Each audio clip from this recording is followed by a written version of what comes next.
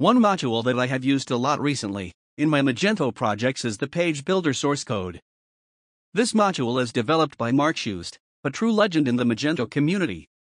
So in this video, I will cover these three topics. 1.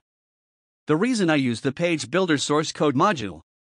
2. How to install this module. And 3. More things to consider when you are working with Magento 2. To explain why I use this module, first I have to add some more elements to the slider on the homepage.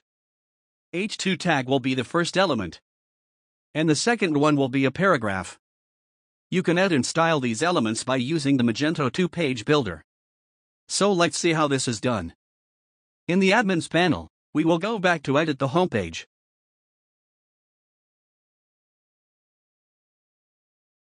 Open the Content tab and add it with Page Builder. Each slide has a text field where we can insert the new elements. Here I'm going to type the first string. Select it and choose the heading to text format. I will center align the text. Make the text color white. And the font size 52 pixels. And now, in a new row, I will insert the second string. This will be a white paragraph. Center aligned. And the font size 26 pixels. And now, Let's save all the changes. If we now switch to Storefront and open Inspect Elements, we will notice that the styles for each element we inserted are now in line. Page Builder is undoubtedly a powerful tool for content management, however, when it comes to styling the elements, it is limited. For example, if for some reason we want to give the H2 tag a red text shadow, we can't do that using the Page Builder. So, if we want to give the H2 tag a style that the Page Builder doesn't support, like the text shadow, how do we do that? A simple way to do that, which I am not a fan of, is to go to the slider primary less file and add the style directly there. In the storefront, we will see that the style is applied, we achieved what we wanted. However, as I mentioned, I don't really like this approach. The reason why is because we've styled directly an HTML tag without using a CSS class.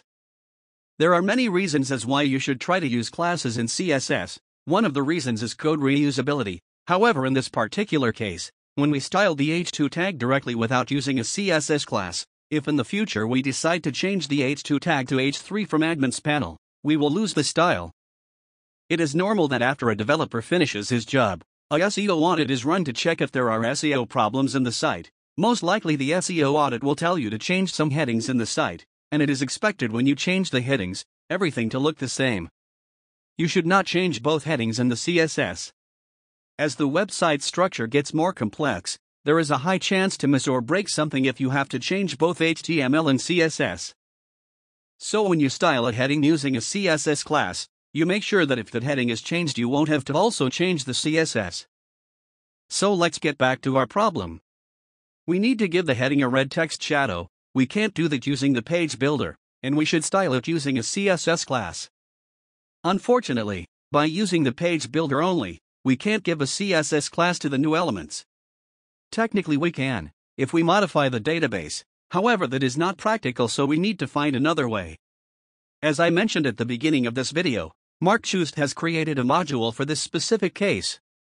This module adds an icon, as you can see here, which when clicked opens makes it possible to edit the source code of the text field. To install this module in your project is quite easy. There are only three commands you need to execute using your terminal. The first command is composer require Mark Shust Magento 2 module page builder source code.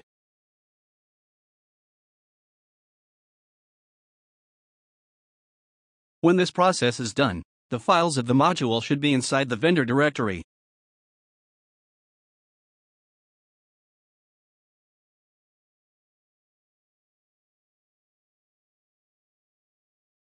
Just like a theme, the module also has a registration.php file. I open this file to check the component name. The second command to execute via the terminal is bin magento module enable component name.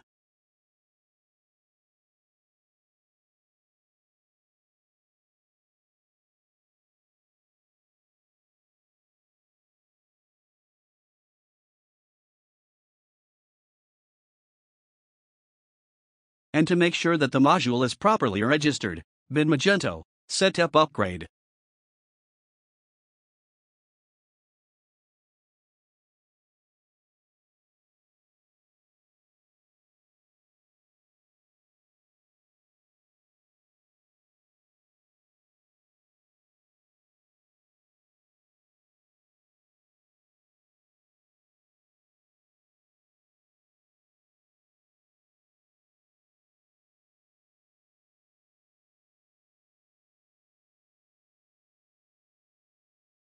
And now, everything should be okay. When we go edit the text field, the source code icon should be there. And now, let's finish what we started. Here, I gave each element a class and I removed the inline styles. Now the HTML structure looks much cleaner. In the slider primary less file I styled these elements. You can find the code in my GitHub account, link in the description. And this is how things in the storefront look now. Before I end the video, there is one more thing I need to mention. I used the BEM methodology to name my CSS classes. You can go ahead and learn more about this topic. I will also leave a link in the description with the official documentation. There are a ton of articles online that talk about this methodology, so if you have some time, make sure to check them out. This is the end of this video. As always, thanks for watching.